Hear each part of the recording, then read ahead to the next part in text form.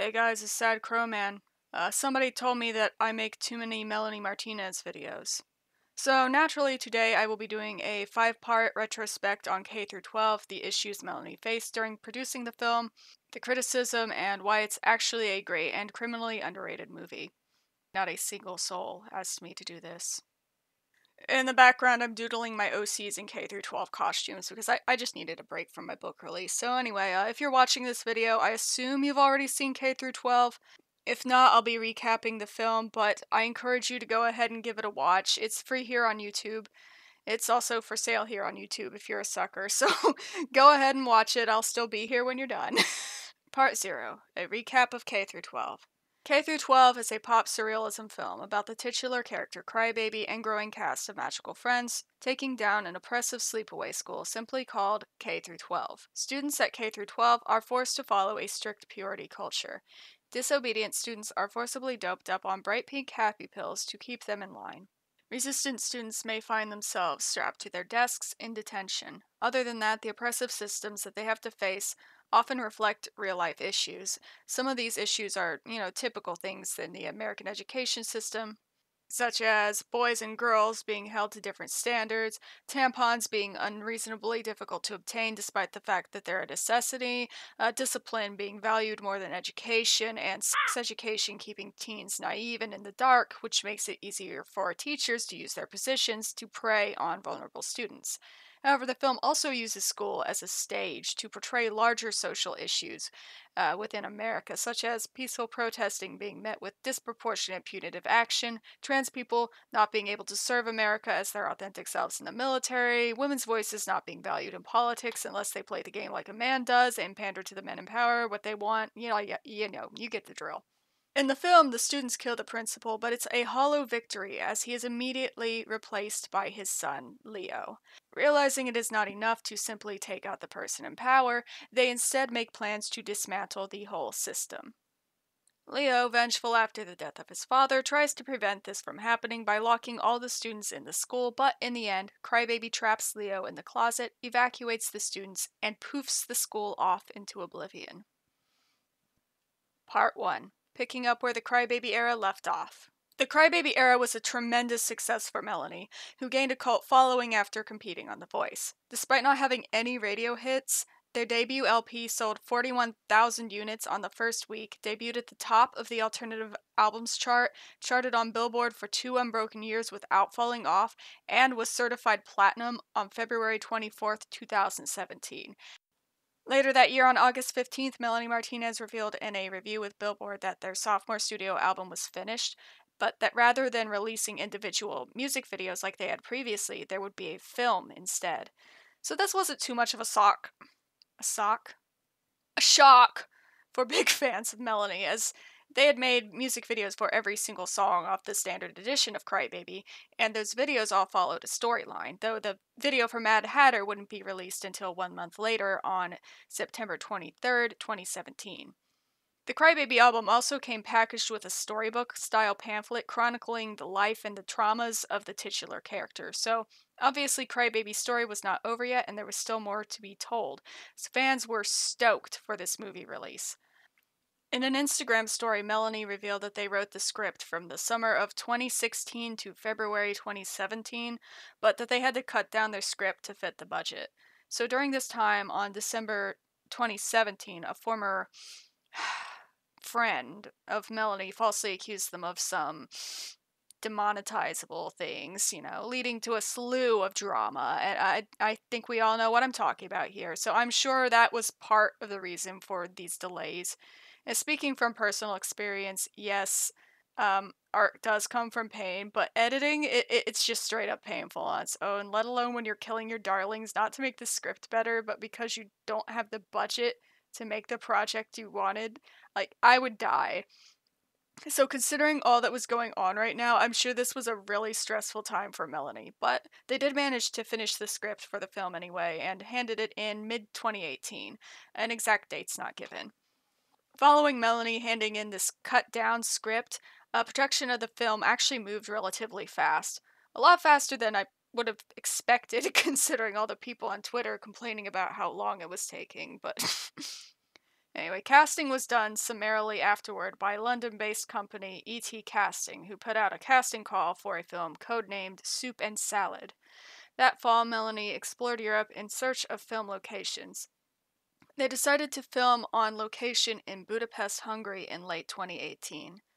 It was cold in Budapest that time of year, and many of the actors wore coats over their costumes while rehearsing. Filming took place relatively quickly, though, over 31 days, and Melanie co directed with Alyssa. God, please help me pronounce this. Please help me pronounce this. Torvinen, uh, Josh McKee, and Mark Kelly. Editing took place in early 2019, and Melanie themselves assisted with the process. In fact, uh, in an Instagram story, Mel actually stated that post production was their favorite part of filmmaking. I would think that would be a nightmare, but hey, somebody's got to do it. Not long after, the promotion for the film began, with a 19 second teaser trailer being released on May 15th, 2019. Two more teasers would be released that May on a weekly basis. The third teaser trailer finally revealed the film's release date, whispering September 6th, surprisingly ominously, actually. K through 12 was only shown in theaters for one day, September 5th, and the film was given an R rating, which surprised me. I could have sworn it was PG 13, seeing as how the blood looks like hot pink paint, but uh, my memory, I guess. And speaking of, that's probably the word that earned it an R rating. I thought it didn't count in songs. What? I don't know why I thought that. It doesn't matter. the rating didn't keep them from grossing in $359,377 in the box office that night, which ranks it as the sixth highest gross I can I can say this, the sixth highest grossing opening night for a film domestically. The following day, K through 12 was released alongside the album. You could buy it packaged along with the album either as a digital download or on DVD, but you, I don't think you could buy it on its own, so sales of the album were likely the priority. During this time, it was temporarily free on YouTube and made it to number 2 on trending. The film would later be reverted back to free when some of the hype died down, though it still made money off of ad revenue. Given that it was only in theaters for one day and that it was packaged for sale alongside the album, it's hard to say exactly how much money the film made and if it made back its budget of like five, six million. Uh, however, given that the album debuted at number three with 57,000 sales, and considering the two were packaged together, it's safe to say a number of those album sales included movie sales. And again, uh, it hit number two on YouTube trending, so not a bad opening week for a low budget film. And also, of course, it's been earning ad revenue on YouTube for the past three years now, and it has over 100 million views, I, maybe even a, uh, over 111, I think, by now. The K through 12 uniform was also sold to fans as merch, and of course, there's the other merch. And then, of course, you know, the very existence of the film assists the album sales. And as of today, K through 12 has over 500,000 certified sales in the US, which certifies it as gold. So, you know, to those who are asking, did K through 12 earn back those 6 million dollars? I'd say all things considered between shows, merch, album sales, etc., etc. Yeah, it almost certainly has by now. Or, you know, if you want a simpler metric to judge by, obviously, yes, it made its money back, or else they wouldn't be making a second movie. Welcome to capitalism. And speaking of capitalism, before we go to part two, this video is sponsored by no one, no one, I'm just kidding. But I do have two side channels, one for storytelling and one for witchcraft, and viewers like you can get them monetized just by watching them. I'd appreciate it a lot if you have time. The spiritual channel is a work in progress, but the storytelling channel has a lot of content. Uh, okay, it's mostly just me playing The Sims with my OCs until the audiobook is ready, but whatever. I guess there's now a canon AU where Eretti breaks up the lead couples from The Notebook and Twilight to ruin their happy endings. Next week I'm doing The Hunger Games so you can watch that if you uh, oh you'd rather watch the video you clicked on. Yeah yeah that makes sense. Let's get back to the video. Part 2 little budget big heart. K through 12 the album got widespread critical acclaim and it was an undeniable success although the reception of the K through 12 film is somewhat divisive. Uh, most people are on the same page with the film's shortcomings but not everyone agrees that those shortcomings dampen their enjoyment of the film it's critically acclaimed in most circles, but it's dismissed as a disjointed string of music videos in others. For the most part, though, it's reviewed favorably both by fans and critics. However, it's it's really been mostly overlooked by film critics. It's not really taken seriously as a movie, so reviews are few and far between. Rotten Tomatoes didn't even bother touching it, which is fine because I don't bother touching Rotten Tomatoes. Now, I cannot stress this enough as we proceed. Making a movie is not an easy task. There are so many logistics involved in making a film like K through 12 that it's not even an option for most people, except for the very determined, or let's be honest here, the very rich. Every little detail you see in a film, somebody had to make that happen, and somebody had to shell out the cash for it. I've written some screenplays myself, but as far as turning those into a movie goes, I would get overwhelmed just thinking about all the work I'd have to do. So this isn't something I would uh, weigh into a film critique, but since this is a retrospect, it is worth mentioning that K through 12 is Melanie's first film, like ever, and I guarantee this was a learning experience. If this was Melanie's 10th film, whether a review or a retrospect, I'd probably be more critical, but, you know, even with the help of co directors Alyssa Tor- Tor- Torvinen, Mark Kelly, and Josh McKee, there's still a lot of work to do and a lot of things that just don't go according to plan. Now, that's not to say that this film doesn't have issues. I'm not going to pretend that it's absolutely perfect, but it is worth noting that most people don't realize that this is a low budget film. It doesn't look like one, mostly because, you know, the aesthetic is top tier, but it is. Atlantic Record didn't exactly provide a generous budget. Of the budget issues, Melanie stated, quote, At first they were like we can do 2 million, but as I was cutting down the scenes, I realized there was only so much I could cut before compromising my vision and the story, end quote. The final budget has been estimated at like 5 or 6 million dollars, some of which I'm pretty sure came out of Melanie's own pocket. Now, six million sounds like a lot, but it's really more of the budget you'd expect for, say, 13 music videos with brief transitional scenes in between them. You know, not really a feature film, much less a feature film with CGI. I mean, it's not impossible. No, it's not possible, but it's hard. For comparison purposes, Kill Bill, which famously had almost no CGI, cost $30 million to produce. And Kill Bill, I'm using that as an example because it's about the length that Melanie wanted, if I recall. I don't know, I could be lying to you right now. But even Juno, uh, which is considered a low budget film, cost 6.5 to 7 million dollars to produce, and that was in mid 2000s money for both, by the way. Early to mid 2000s money. And I'm sure everyone is well aware that the economy has tanked since then. And the reason I'm using Juno as a comparison here is because a similar setting high school but it's also a useful contrast because juno it didn't need cgi it was filmed in an ordinary high school and not in a hungarian palace and the costuming it was just everyday clothes and very little was cut from the original script K through 12 did not benefit from any of those budget conveniences, hence why Melanie had such a hard time maintaining this vision. One surefire way to make a film cheaper is, after all, to make it shorter, which is unfortunate for me. I'd love it if K through 12 was longer than Titanic, which I believe had the biggest movie budget of all time. I'm pretty sure it did. It it might have been dethroned by now, but that was an expensive movie. So yeah, that was not happening. Now, there are a lot of factors that can affect a film's budget, and K through 12 has saved a lot of money, I'm sure, by not having any A-list actors, having the soundtrack already in their lap, and having Melanie Martinez do a large bulk of the work themselves. For example, by writing the script of the film themselves, Melanie probably saved anywhere between 20,000 and $100,000.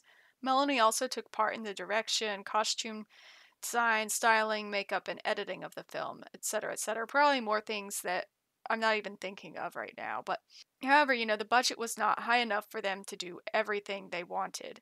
For example, uh, the reason for the school disappearing in a puff of smoke instead of burning it down like they had originally planned was because they couldn't afford the CGI it would take to burn down a Hungarian palace, and doing it for real was probably off the table. Additionally, other characters like Miss Harper were supposed to get more satisfying endings, and the original script was much longer. Unfortunately, with a budget smaller than that of Juno's accounting for inflation, some sacrifices did have to be made.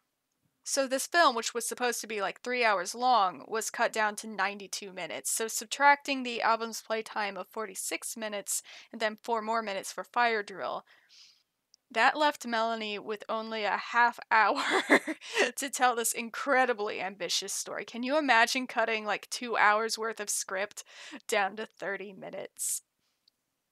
Even for a professional screenwriter, that would be absolute hell, especially given the time constraints and circumstances. And again, that winter is when they were falsely accused of. I'm not going to say it, so please don't demonetize me. And if it was supposed to be three hours long, we're talking probably about 150 to 200 pages of script to cut through. Uh, and all the while, while that's going on, your fans, aka your customer base, are distancing themselves from you or yelling at you, hashtag canceling you, whatever, for something you literally could have possibly done because you were on the other side of the country at the time. Yes, I'm the guy who made that very long video about it. and then, because of how fast the music industry works, Melanie only had a couple of months to butcher their work into this small fraction of what it used to be. When ideally, with a project like that, you would let it sit for a while so you can come back to it with fresh eyes and determine what is and isn't necessary. And you know, meanwhile, even after the false allegations were cleared up thoroughly, Mel was still bombarded with messages from fans screaming, Where is the album? Where's the album? We know it's finished. Why don't you just release it? What's taking so long? You know, meanwhile, Melanie and their crew took less than a year to rehearse lines, record, etc. I believe filming, yeah, it only took 31 days, so incidentally, that's the same amount of time as Juno. And all the while, fans were whining about how long it was taking when things were actually going at a pretty swift speed. You know, considering all the crap Melanie was dealing with at the time, I, I it's I just don't get that sort of behavior. Like, there's not a doubt in my mind that this was not easy to deal with, and the more I think about it, the more I understand and appreciate the song and sequence for show and tell. But I digress. Though, if I may just take a minute to say, cue the sad violin music. Uh, it's sad that some people can't just wait patiently for a couple of years for Melanie's next release and will actually stoop as low as to harass Melanie just because they don't drop a release every year. Like, to put the ridiculousness of this into perspective, my favorite band is Nirvana. How long do you think I have been waiting for a new Nirvana album? Yeah, I don't want to get too real here. This is more of a video essay topic, but maybe, maybe consider being a little more grateful for your favorite artists because they'll all be gone someday, and we as an audience are not entitled to a never ending stream of art. So please treat artists better while they're here, or else you might regret it when they aren't. Just a PSA there. But anyway, moving on. There's been a lot of speculation to where the budget went, and one of the leading theories is the filming locations which of course that's a natural culprit to jump to because they filmed on location in Budapest, Hungary. So naturally there are going to be travel costs to get everyone there. The I'm going to pronounce this wrong. The Esterhazy Palace served as the facade for the school behind the CGI, and they also filmed the dance hall, the gardens, the cake room, and the corridors within the palace. The rest of the film was filmed elsewhere in Budapest. According to the wiki, other filming locations included the Metropolitan Ervin Szabó Library, the Danube Palace, the Gellert Spa and Bath, the Rade Castle, Taz Palota Exchange Palace and the. I hope there are no Hungarians in the audience right now. The Podmaniczky Vigyazzo Rende Veni Castelli Mansion. Listen, if you're a Hungarian and you're here watching this, I'm sorry. it's easy to see why Melanie was drawn to Budapest. The architecture of Hungary is perfect. It made for an absolutely beautiful film. Every single frame of the film is strikingly beautiful, and while CGI did play a big role in making K through 12 K through 12, it wouldn't have been the same if it were filmed on some set in Hollywood. And it's important to note that while this couldn't have been a cheap decision, it may not have taken up as much of the budget as people speculate it did. If you're an American, palaces probably sound rare and expensive, but Hungary is a small country with a low cost of living, and there are like excuse me, hiccup, 2,000 palaces and mansions there, so it's not the equivalent to, say, filming in the Buckingham Palace or something. And while I doubt it was cheap, the impact on the budget was probably nominal compared to the visuals that it brought to the table. Otherwise, I don't think she would have made this decision considering how important this story is to her. If I had to pick one culprit for the cost of the film, I would absolutely blame the CGI first and foremost. It's well known that CGI is extremely expensive, with some films dropping hundreds of billions of dollars on CGI alone. Uh, depending on what you're doing, like a single shot can actually cost you $100,000. I would be shooketh if CGI wasn't at least half of the budget. However, I challenge you to make convincing special effects in a film about students with magical powers without it coming off as too cheesy. Though personally, I'd have found it charming if they went the way of Quentin Tarantino. Um, you know, modern audiences do have high expectations. Uh, especially, you know, this generation having grown up with CGI, they're more accustomed to it. So, with a large portion of Melanie's audience being young still, I'm though I am sure there are a lot of teens who appreciate the charm of retro things. They aren't generally invested uh, the same way my generation was. Just like my generation tends to snub black and white films and, God forbid, silent films. So if you didn't grow up watching shows with, say, puppets and FX machines and you're accustomed to the realism that CGI brings to the table, it, yeah, it can be harder to take older shows seriously. But at the same time, the more realism there is, the easier it is to immerse the audience in your world. So, as costly as CGI is, I would argue that it was a necessary evil. There's really no point in pointing fingers at Melanie for not budgeting the film well enough. It was already a low budget film to begin with. I'm confident that cutting corners with the filming location and the CGI in favor of keeping in more of the script wouldn't have made the film better, just a little longer they did the best they could with what they had, and I do admire that. Though obviously, I'm still hoping they got a bigger budget for the second film. Part 3 Other film criticisms. So, budget derived issues aside, a common criticism of K 12 is the acting, uh, particularly Melanie's acting, since Melanie's name is on the cover and, you know. Now, the amount of time an actor has to rehearse their lines varies, but I admit, uh, based on the fast timetable of production and the end product, I'd like to say they could have taken more time to rehearse, even if it meant pushing back the release date and making everybody scream. of course, this may be an extension of the budget issue, because actors are paid for everything they do, and that does include rehearsals. It's hard to say, but yeah, still, people are especially hard on Melanie for their acting because, again, it's their name on the cover. And I think some people forget that this is their debut. I mean, yeah, Melanie's acted in music videos, but a film, acting in a film, that's a different game entirely. It's the sort of thing that takes practice. I don't understand why anyone would expect an effortless transition from music videos to a whole act movie. I mean, well, unless they just don't know how much effort goes into movies, but, you know, Melanie was responsible for a lot of things. They wrote the script, directed, did the costume design, etc., etc. So they were really busy. Though memorizing their lines probably wasn't much of a challenge given that, you know, they wrote them, but they still had to learn the choreography for 13 music videos. Considering the time window this was produced in, I'm not all that miffed she didn't nail all her dialogue perfectly for her debut.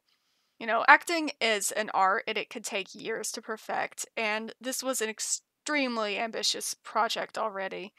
So if you're comparing Melanie's acting to veterans like Natalie Portman or Kate Winslet, I'm sure there's something to be desired, but you know, for her first foray into the acting world, her dialogue delivery wasn't unbearable, and I'm sure that Melanie will improve over time. This is her first time in her career delivering speaking lines like this, after all.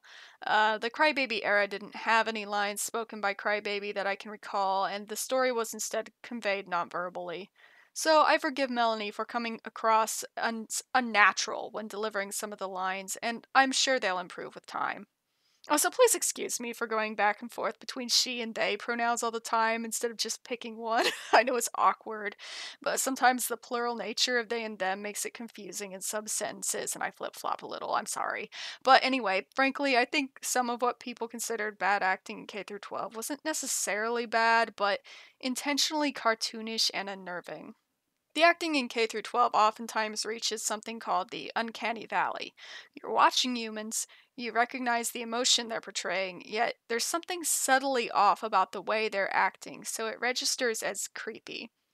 I'm pretty sure it's intentional. Take, for instance, the scene where Crybaby is at the lunch table being recruited by students in identical wigs and mannerisms, or the scene where the students in show and tell are eagerly pounding on their desks in the exact same way.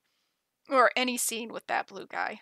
Again, the film is surrealist horror, so I'd argue that uh, the side characters are more cartoonish than they are human at times. And that bothers some people, particularly those who prefer realism, but good acting is pretty subjective and depends on the film. Personally, I and a lot of others thought the cartoonish behavior of these characters worked with Melanie's creepy cute stylistic choices throughout the film. And if you're a critic, you're probably thinking, okay, but that doesn't explain the leads, some of whom came off as unnatural, and I do agree with that. So, what went wrong there? Unfortunately, the best and biggest actors tend to cost a lot of money, and you know, we already went over the budget, and you have to pay actors for everything they do for you, including those rehearsals. The production cost can stack up exponentially if you insist on hiring top talent. Melanie did mention that keeping K through 12 diverse was difficult when casting, which made sense because they were filming in Hungary and probably had to pay the room and board for all the actors they flew in that were not local. And as I've explained in length, the budget was tight. Can you imagine, like, flying an A list actor to Hungary for an entire month? The accommodations they would expect? Oh my god. that would probably be the entire six million right there. now, some of you may be thinking, okay, but didn't Juno, which you mentioned earlier, uh, get Jennifer Garner, who was an A-lister at the time, on their budget of six million. And yeah, miracles happen sometimes. Miss Garner did do Juno for a nominal salary, and in exchange, though, uh, she got a percentage of the movie's back end gross. And if it wasn't for that, Juno would have been a much more expensive movie because they were basically offering Jennifer Garner money that hadn't been made yet. So yeah, the acting in K through 12 may not have been perfect, and some actors were better than others. Um, Maggie, I'm gonna pronounce this wrong, but Zina's performance as Kelly blows me away every time. For example, I could not imagine anyone else as Kelly. But I'm not gonna call out the actors who I personally didn't think do a good job, and I don't think the acting is as bad as some people make it out to be. I've seen worse movies with bigger budgets. I'd actually say Melanie did a great job, you know, especially in the music video segments where they were in their element. You know, and again, as for being able to deliver speaking lines naturally, that's something Melanie will improve with in time. Though Melanie seems to be one of those people who prefer to be behind the camera rather than in front of it. I mean, this is the same Melanie who's been known to toke a demonetizable substance to tolerate being on stage performing in front of people. It's also possible that Melanie is simply more passionate about creating and directing than uh, she is for acting, and that's all there is to it. Either way, I mean, it's it's not like Melanie has an identical twin who loves acting for. So, for continuity's sake, they're the only one who can play Crybaby whether they like it or not Of course, my opinion is not universal. Um, for some audiences, the content that was cut ended up killing the film, and those who dislike it, their biggest complaints are usually the unconvincing acting and the disjointed scenes.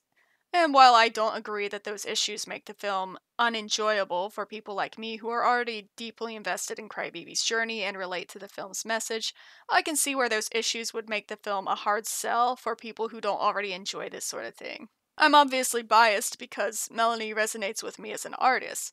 If I was watching a film with similar issues about something I think is a snooze fest, like, say, a good Christian horse movie, uh, under rehearsed and disjointed scenes would be more than enough to make me walk out. And I admit, the first time I watched it, I did find it a bit confusing in some places, most notably at certain transitions. Some of the songs, like The Principal, drove the plot along in an almost operatic way, if that makes sense. And if it doesn't make sense, don't tell me. and then other songs, like Drama Club, they fit in naturally with the scene. However, there were others, like High School Sweethearts. Uh, that one seemed to come out of nowhere, with very little to tie it to the plot of the movie. Uh, the transition to High School Sweethearts, it was really jarring and threw me off the first couple of watches. And the transition out of High School Sweethearts, Crybaby reading the love letter, was so subtle I didn't even notice it until my 200th watch. I assume these abrupt transitions are a symptom of the script being cut down. Given the scope of the story, there wasn't a lot of room for romance, and only the bare skeleton of a romantic subplot remains in the film. However, I hesitate to judge the film too harshly for this. High School Sweetheart segment was absolutely beautiful, and even though it wasn't necessary for the narrative, I can't imagine leaving it out to save my sorry soul. High School Sweethearts is arguably the best song on the album, and it would be a shame to leave it out just because it's not necessary or because it's hard to tie in with the final product, you know. The same goes for Strawberry Shortcake, which had basically nothing to do with the cut of the movie we got, yeah. I admit that. But, like, could you imagine skipping it? It was awesome. Would the narrative be more concise without those segments? Yeah, okay, maybe. I'll give you that. However, it doesn't greatly suffer from those segments being included. Not really. Plus, those songs have great messages that do contribute to the overall meaning for the film, and it's hard not to be wowed by the great choreography and costuming. A lot of the fun from this film comes from the visuals and the music, and removing the best parts for the sake of more narrative would not necessarily have made the film better. And while not all the songs contribute directly to the plot, they do all hit these near universal experiences for Melanie's target audience, so very little context is needed for them, really. If only some of the transitions were just a little bit smoother, I would call this a complete non issue. Thankfully, if you're nuts like me and you watch one musical over and over and over again, the more obsessively you watch it, the less bothersome the abrupt transitions become because you just kind of get used to it. After like the eighth or ninth time or so, I barely even noticed them. How many times have I seen this? Don't ask. don't ask. Granted, most of the critical reviews of the movie are positive. It's just that critical reviews of the movie are few and far between. It just seems like not many critics are taking it seriously as a movie. It's like it's not anywhere on their to-do list. Uh, they seem to view it as more of a musician's project or an art piece. Like rather than a movie, it's 13 music videos tied together into a script. Of course, Melanie described it this way themselves in their Billboard interview. Quote, it's all of the videos together of the next record, all 13, with dialogue and whatnot in between, connecting all of them together. And I'm directing it and writing it and styling it and doing the makeup, Martinez explains. The film is really a huge priority of mine because it's really important to me that people can truly understand the sentiment and the story when they hear the record for the first time. And I really want people to be able to follow along properly. I have such a clear vision in my head, but it's always about the execution. I'm a perfectionist, and even if something comes out great, it's still not perfect, you know. End quote. With that, it seems Melanie had realistic expectations, albeit with an unreachable standard. As a perfectionist myself, I get it, and it must have been crushing for Melanie to be unable to make the exact movie she wanted. On the bright side, though, the majority of the audience, from what I've read online, seems to feel the same way I do. The film may not have crushed the box office or gotten an overwhelmingly warm welcome from critics, but hey, I mean, it has over 100 million views on YouTube. That's nothing to sneeze at. People of all ages are loving and relating to this film on a daily basis. Yeah, the film has its critics, but every work of art has its critics. And, you know, I'd argue it doesn't really matter what the critics say. There seems to be this odd mentality among critics, both professional and amateur, that if a work has flaws, then it's not just enough to simply point out those flaws and move on. You have to tear it apart. Now, firstly, there's no work that doesn't have flaws. Give a hater enough time and they can rip anything apart, even classics like the Godfather and Raiders of the Lost Ark. Uh, some of my favorite movies, like Nerdland and Sucker Punch, are considered irredeemable trash by critics, with an average score on Rotten Tomatoes at around 20%. And there's often a huge gap between what the critics like and what the fans like, such as with the 2014 movie The Interview, which was lambasted by critics but adored by audiences, especially when it first came out. So you'd think we'd have by now moved past this obsessive need as a society to grade art on a scale of one to five stars or whatever.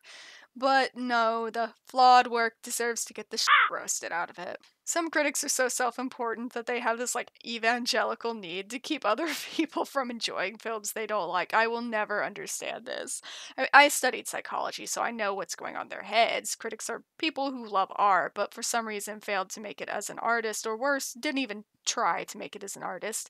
So they instead get stuck doing what for a living? Commentating on the artwork of other people. So, critics tend to be harsh, hurtful, jealous people who spend more time looking for flaws within a work than trying to understand the work that they're supposed to be analyzing, which is why I don't really take critics seriously. In fact, I don't even remember the last time I checked the reviews before buying a movie or even a book. I mean, don't don't get me wrong. I'm not saying every critique of K through 12 is jealousy fueled nonsense from losers who don't understand Mel's elaborate vision. I'm I'm simply saying that just because something has subjective flaws doesn't mean it still can't be widely praised and adored. Frankly, I don't even see the point in ruminating on the film's flaws. They're not as distracting as people make them out to be. Uh, K through 12, it's it's a wonderful movie, and I'm not backing down on that anytime soon. There's a lot to be enjoyed about it, and if you found it confusing on your first watch, I invite you to go ahead and watch it again. I promise it'll make more sense the second time around. Sure, maybe the movie isn't perfect, but one thing I learned in Screenwriting 101 is that some stories are just too big to be told in 30 minutes. Uh, God knows I've embarrassed myself in front of the whole class trying to shove full length movies into 10 minutes and doing it very badly. But Melanie did everything they could to make the film work. It's still an enormously comforting movie, and I love it the way it is. That said, I would also absolutely love it if Melanie did something with the original script at some point. Like like even if they just released it raw like in a book, I would read that. I've noticed a lot of uh, professionally published books getting like webtoons, for example, comic books, and it would be nice to see a K through 12 comic book. But I would also completely understand if Melanie would rather focus on future projects instead, you know, given how hands-on they are with their work. And if K through 12 did come out as a comic, for example, I doubt Melanie would trust another artist to understand their vision. They're very meticulous with their art, and yet I'd sacrifice my left lung to read the original script of K through 12. what can I say? I love the movie we got, but I wish we lived in the timeline where Melanie got to make the movie they wanted. Well, thankfully, the issues that plagued the first film did not hinder the success of K through 12, which now has over again over 100 million views on YouTube. It has also been confirmed that there will be a second film which will further expand into Crybaby's universe, and I look forward to seeing what Melanie can accomplish in the future with more experience. Part 4 The Magic That Makes K Through 12 So Great. A lot of times, people who did not like the film, like maybe they gave it one watch, it wasn't for them, and walked away uh, ruminating on its flaws and whatnot, they get really curious how so many people can enjoy it. They just don't understand it. And the short answer for why so many people are willing to forgive K 12 for its budget induced shortcomings is simple. This is a film about solving the world's problems, made by somebody who is paying attention to the world and what's going on in it. Now, that sounds like it shouldn't be such a rare thing, but the majority of Hollywood is completely out of touch with reality. If a big film studio attempted to make a movie like this, I guarantee you it would be hot garbage, no matter the budget. Like, imagine if Harvey Weinstein produced Teacher's Pet. It, it, it would be bad, okay? Granted, most movies are hot garbage nowadays, I admit that, and sometimes I feel like we've started accepting mediocrity. But K through 12 came out, and what, what can I say? It has a lot of heart. K through 12 has become my go-to comfort movie when I am upset, especially when I am stressed out as an autistic guy trying to get along in a neurotypical world. I've addressed this in past videos, but I'm extremely impressed by how Melanie has been able to connect with both a young and an adult audience in one work. K 12 is an enormously comforting movie for adults and teens alike, as it uses the issues we all face in middle school and high school as like a metaphor for social and political issues we're facing in the world today. The principal, for example, at face value, it can represent any authority figure who gave us grief in our teen years, but he also represents Donald Trump, a former host of the show Shark Tank. The drama teacher represents rigid gender norms, social expectations, oversensitive and easily offended audience, etc. So it doesn't really matter that we didn't get a lot of time to, say, for example, get to know Miss Harper, or that we didn't have a direct confrontation between the principal and Crybaby, uh, unless you count the phone call. You know, the film is so personal and relatable that we're already invested. Watching the school system get dismantled is satisfying without the need of an elaborate setup because we already know what it's like to suffer from an overreaching government. And if we're not old enough yet to understand how overreaching the government is, then we're probably a high school student who relates to how messed up the education system is. And most of us have had this experience at some point in our lives uh, where we aren't able to fit in or where we can't be both ourselves and live up to society's expectations. Especially for neurodivergent people, fitting in can be absolutely agonizing.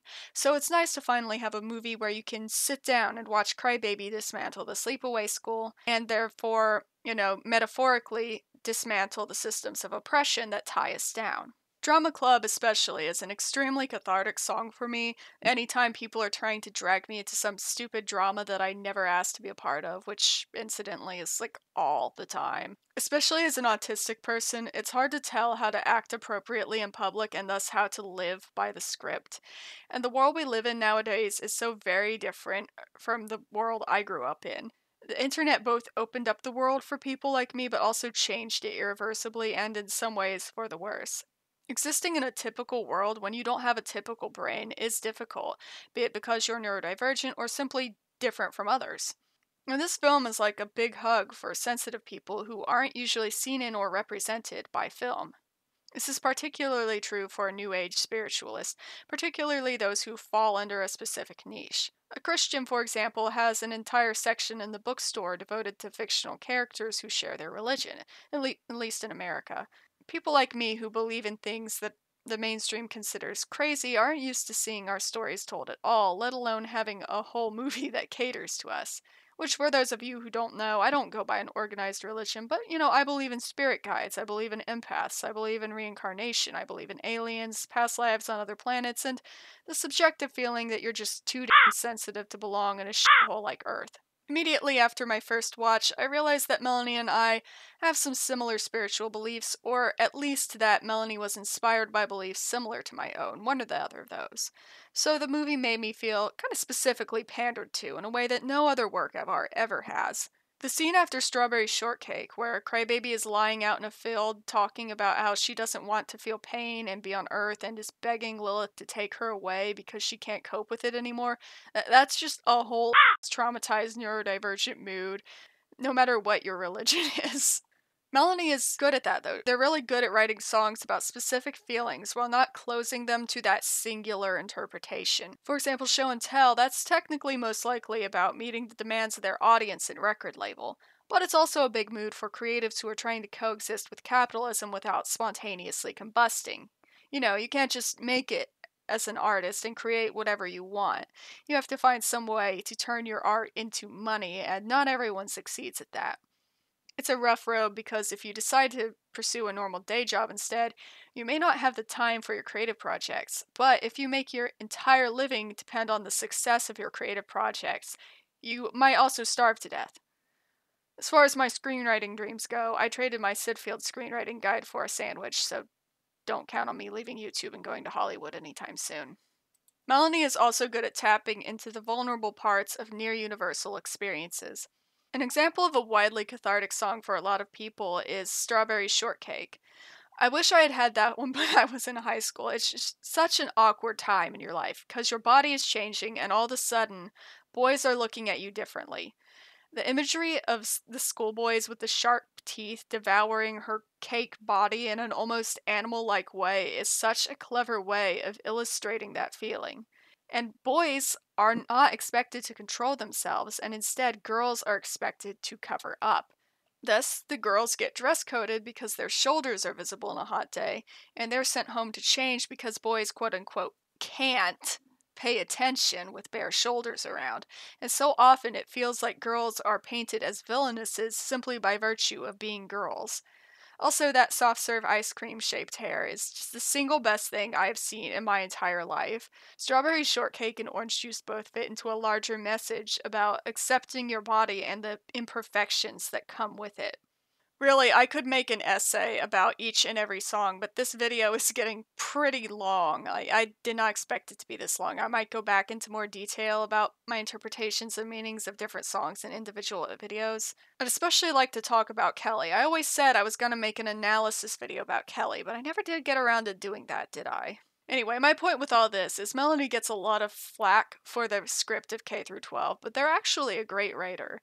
They're good at creating these multi layered metaphors that are easily accessible and yet open to interpretation that makes them relatable to a variety of demographics. And you see that sort of thing all throughout K through 12. Crybaby was a well written album, yeah, don't get me wrong, but Melanie's lyrics have gotten even better since then. K through 12 is a masterfully written album, and though the film script gets picked apart for its shortcoming, it actually has some wonderful gems in it as well. You know, in the opening, Crybaby recalls her dream. She says, The voice of a thousand angels said to me, It's temporary. And that's such a great way to introduce the film because, on the surface level, high school is temporary. It's a hellish but short period of your life, and that's where the character Crybaby is going. But it also plays into a larger theme that existing in a world where you're different is difficult, but that this whole life is also temporary, that you've lived lives before this one, and that you will live many more. And most importantly, that you have to live your life, even though it's painful, because the only way that we can truly learn is through experience. Sure, the actors may not all have had the best delivery for all the dialogue, but you start in the womb and end in the tomb is both extremely quotable and plays into the themes of the movie incredibly well. It's a cute setup for what is ultimately a story about doing your best with what time you have. The film's message is clear, you know. Death should not be feared, for it is another part of life and you will have many more lives to learn all of Earth's lessons. However, no matter how painful life gets, you should not yearn for death, as you still have important things to do here on Earth. Your time will eventually come, so make the most of it now before it does. To live is to suffer, to survive is to find meaning in the suffering. The funny thing is, I usually hate stories with a moral lesson.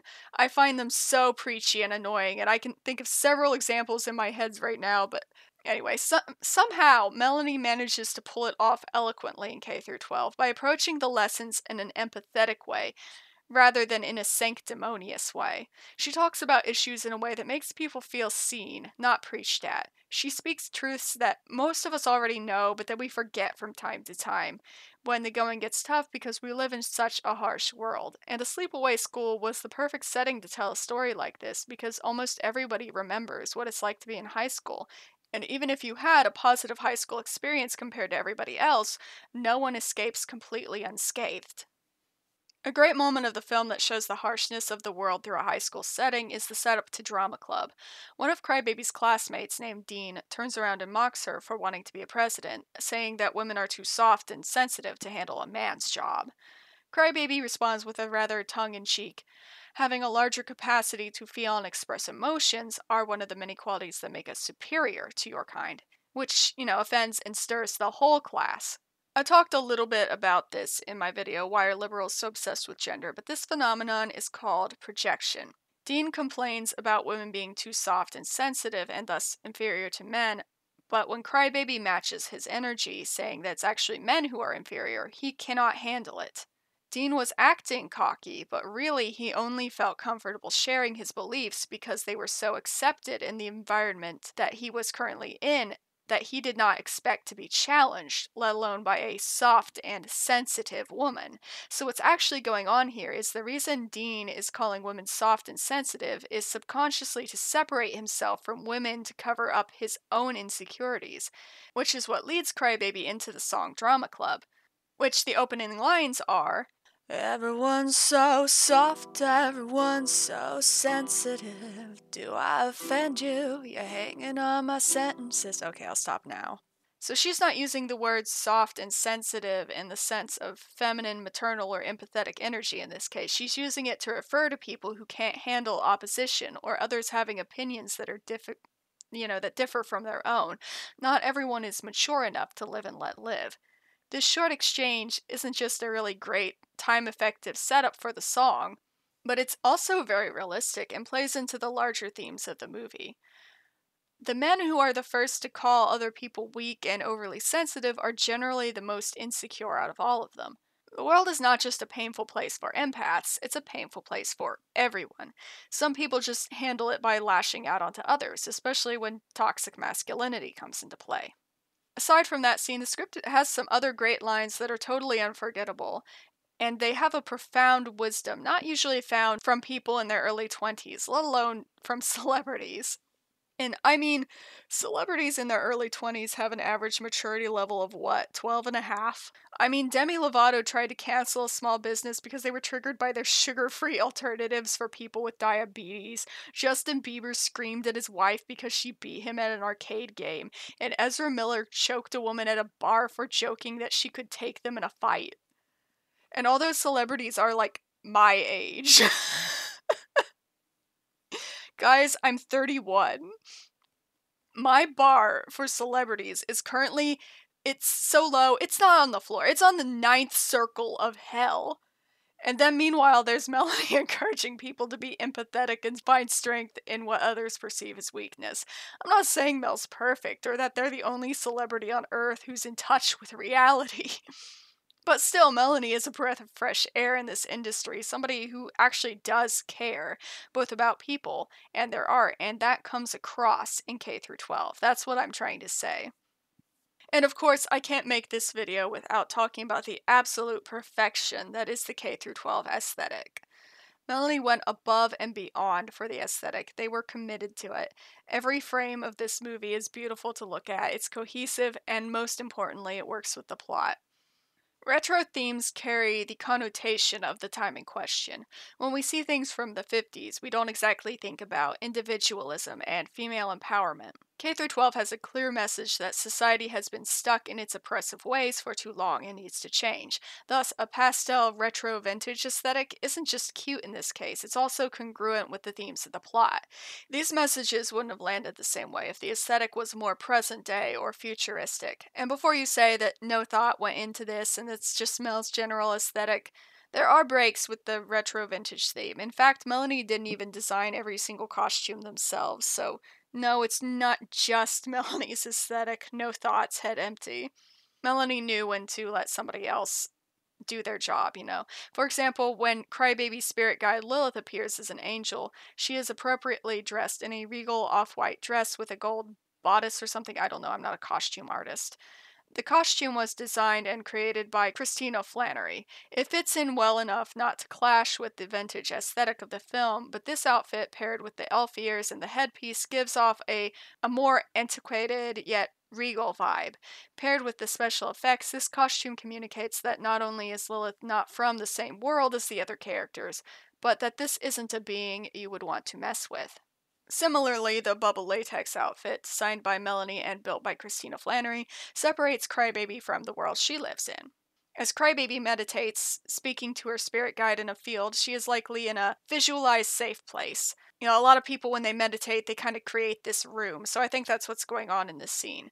So, from this, we can see in Crybaby's own mind's eye an imagined reprieve from the restrictive sleepaway school where girls must wear pink dresses and boys blue pants. So, this illustrates that Crybaby also doesn't really belong in the environment that she's in.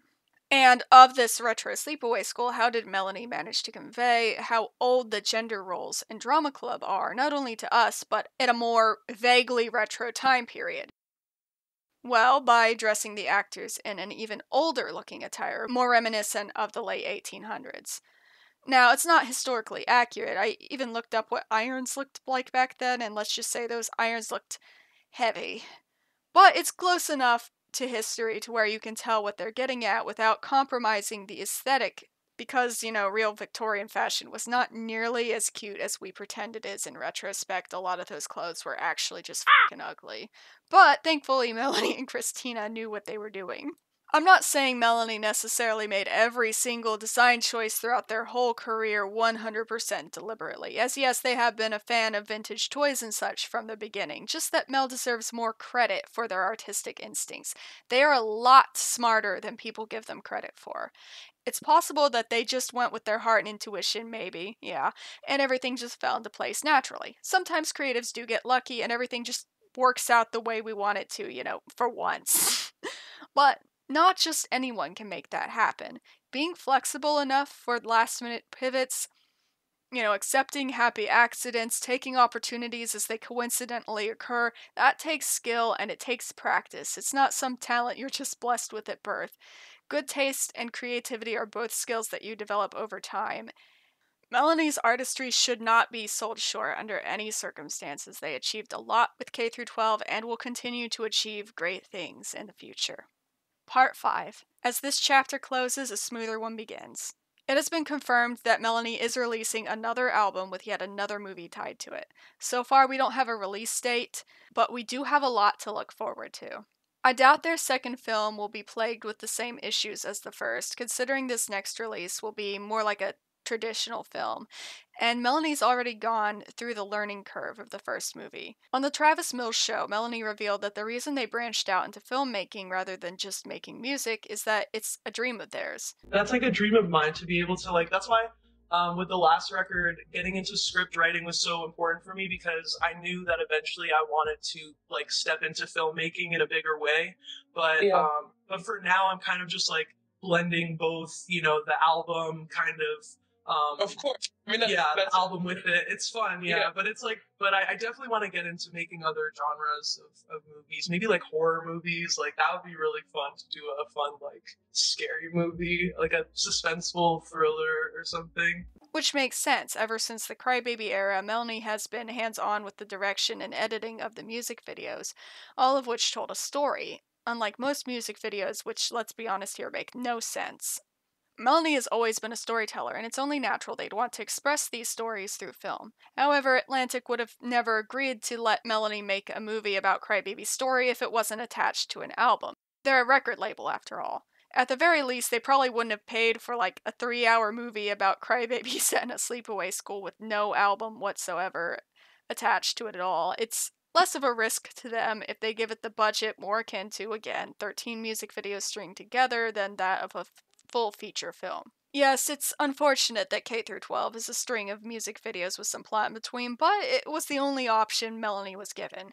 So what sticks with me is that instead of giving up and just staying stuck in the music industry's box, Melanie did their best to pave a way for the future they wanted.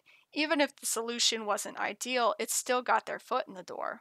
And while I love Melanie's music, I'm excited to see them express themselves through filmmaking more in the future because I, I love musicals. And if their first ever attempt to branch out into feature film worked so well despite all of the challenges and restrictions they faced, imagine what they could do with, say, $30 million and less restrictive investors. Who knows? If things go well enough, Melanie may reach the point in their career where they no longer have to do what a record label tells them to they could just make a full musical however they wanted and follow whatever vision they had with far fewer authorities to fuck. and that is the future I want to live in. Wow, I, I can feel my voice. Uh... a huge thanks to all of my Patreon supporters who make this channel possible. My whole existence is crowd-funded. I am alive because of you guys. And if you really enjoy my videos, uh, please consider tossing me a dollar or three on Patreon. It really does make a world of difference in my life since I can't work a normal job right now. And please check out my side channels too if that's your thing. And as always, please rate, subscribe, and blessed be, motherfuckers. See y'all.